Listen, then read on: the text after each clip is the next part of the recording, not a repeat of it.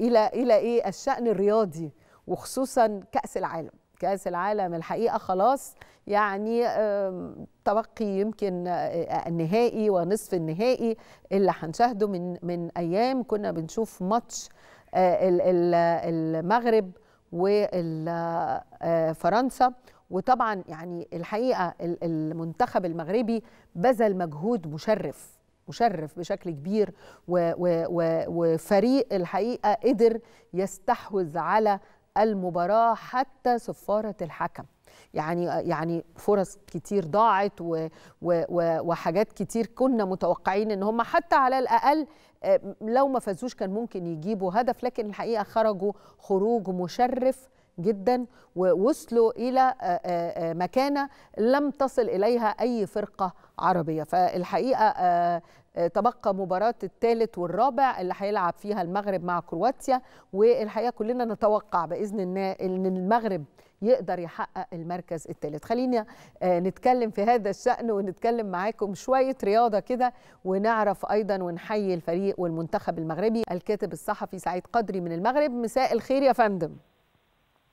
مساء الخير أستاذة شفكه أهلا وسهلا. مساء الخير لكل الجمهور المصري الحاضر بقلبه في الدوحة والحاضر مع المنتخب المغربي. ألف ألف تحية لكل المصريين. شكرا لك. أكيد. يعني الحقيقة أنا عايزة أقول لك أنه مباراة المغرب في مصر تحديدا يعني الناس كلها كانت حاسة أنه هي يعني بتشجع المغرب بالظبط كأنها بتشجع منتخبنا. الوطني. فيعني كل التقدير لهذا المنتخب المحترم اللي قدر يستحوذ على الكرة طوال المباراة. كلمني أولا على استعدادات الفريق وعلى روح الفريق وعلى أنه هو وصل له قد إيه كل الدول العربية يعني حاسة بالفخر لهذا المنتخب العظيم. بالفعل الأستاذة شفت بعد ساعات طبعا عشنا فيها على أمل وعاش المغاربة والعرب و كل العرب طبعا عاشوا على أمل الفوز في المباراة فرنسا والتأهل لأول مرة للنهاية. الأكيد بعد هذه الساعات عاد الأمل من جديد إلى وعادت الأنظار في اتجاه الدوحة لمباراة يوم السبت المقبل أمام كرواتيا التي طبعا تعادلنا معها في المباراة الافتتاحية الأولى للعناصر المغربية. الأكيد أن الحالة من الفرح وممزوجة بقليل من الحزن، حزن على ضياع صحيح. التأهل التاريخي طبعا ولكن فرحة كبيرة بالأمس هنا بالمغرب خرج الجمهور المغربي من المقاهي سعيد جدا بأداء المنتخب المغربي طبعاً. طبعاً. كذلك الجمهور العربي كان سعيد وهنا اسطر على الجمهور المصري الذي تابعنا مجريات متابعته لمباراة المغرب وفرنسا بكل أمل بكل حب وتقدير لم نشهد مثيلا له طوال السنوات والعقود الماضية والأكيد أن الأنظار كما قلت تتجه إلى الدوحة لمباراة المغرب كرواتيا لتحديد الصف الثالث وهو الصف الذي نطمح إليه كمغاربة أولا. وكعرب وكأفارقة وإن شاء الله أكيد. أنا وحضرتك بتكلمني إحنا بنعرض هنا على الشاشة مجموعة من العناوين. يعني يبدو أن الصحافة المغربية كانت لا تتكلم إلا على هذا المنتخب. ولكن الحقيقة أنا عايزة أكلمك كمان على لقطة حضارية نعم. كانت في نهاية المباراة المغرب وفرنسا. أنا شفت أن الفريق الفريق الفرنسي توجه عدد كبير منه جدا إلى يعني لعيبة المغرب وفريق والمنتخب المغربي اللي كان بيطبطب عليه واللي كان بيحييه واللي كان بيشد على نعم. إيده. الحقيقة كان شيء جميل يعني. فشفت أنت ده إزاي؟ يعني واضح إن فرنسا كانت شايفة إن أمامها الحقيقة منتخب محترم. يعني من اللياقة من الفتنس من من من الكرات الضائعة. فأعتقد ده كان تقدير أيضا من من منتخب فرنسا.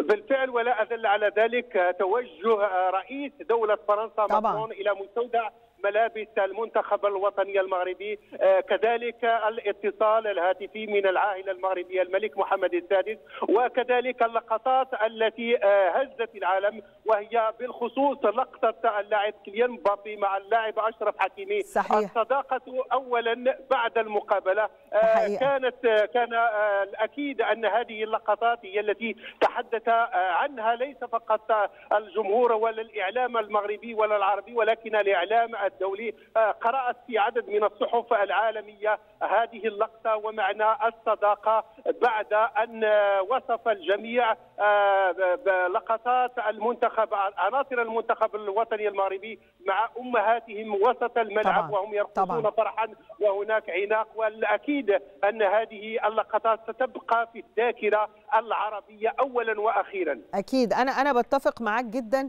يعني لم يؤدي فقط منتخب المغرب مباريات كروية ولكن كان في حالة إنسانية رائعة.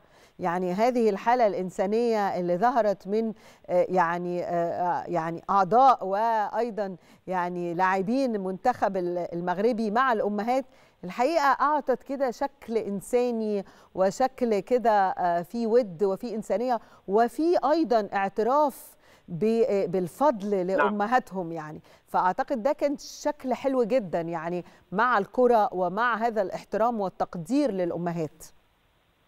نعم بالفعل وكذلك لا ننسى الجمهور العربي جمهور مصر الحبيب آه، تابعنا لقطات من صعيد مصر من شمال مصر من جنوب مصر آه، حتى الإعلام المصري آه، بدا لي وكأنه مغربيا هذه المرة صحيح. أكثر من المغاربة آه، صحيح. الأكيد أن نشكر الإعلام المصري الذي آه، تحدث وأسهب في الحديث بطريقة آه، مغربية أكثر من المغاربة عن ما حققه المنتخب في الختام منتخب مغربي عربي إسلامي إفريقي هذا هو المبتغى من مثل هذه التظاهرات الرياضية شرفنا الكرة العربية وليس المغربية فقط والأكيد أن أملنا وأمل الجمهور والشعب المصري هو أن نحصل على الصف الثالث وأن نطلع وأن نتوج أكيد. على البوديوم أمام آه، فرنسا و- و- أو والأرجنتين. الأكيد هذا حلمنا جميعا. آه، ولذلك لا أجد الكلمات لوصف كلمة الشكر لكم جميعا. إعلاميين بشكرك. الجمهور الحقيقة يعني كاتبنا الصحفي سعيد قدري أنا عايزة بشكرك اولا على شكر الإعلام المصري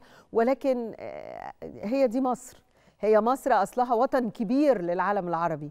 ومصر لا يعني لا ترى الجنسيات. مصر بتشجع دايما اللعبة الحلوة ولما تكون اللعبة الحلوة من فريق كمان عربي آه، فأعتقد مصر هتلاقيها على طول نسيت الجنسية وبتشجع ووطن كبير لكل الناس وده كان الإحساس الحقيقة. بشكرك شكرا جزيلا الكاتب الصحفي سعيد قدري من المغرب وبتمنى وزي ما إحنا كلنا بنتمنى إنه المغرب تقدر الحقيقة لأنه من حقها. من حقها إنها يعني آه، تتصدر المركز الثالث ومش آه، ومش آه، ما هياش مش غريبة على المغرب مع على هذا المستوى الرائع اللي شفناه الحقيقة طوال مباريات كأس العالم. أعتقد مباراة المغرب وكرواتيا هتكون يوم السبت بإذن الله الساعة الخامسه هي المباريات بتاعت كأس العالم المتبقية سواء النهائي أرجنتين وفرنسا الساعة 5 وكمان كرواتيا والمغرب الساعة 5